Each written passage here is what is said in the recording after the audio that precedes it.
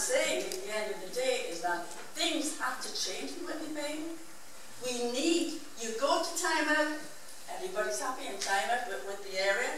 You come to Cullercoats, it's very smart and tidy.